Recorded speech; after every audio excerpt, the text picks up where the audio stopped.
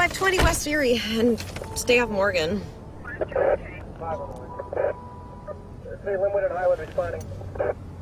Hi. Before my next birthday, if you don't mind. Missing something?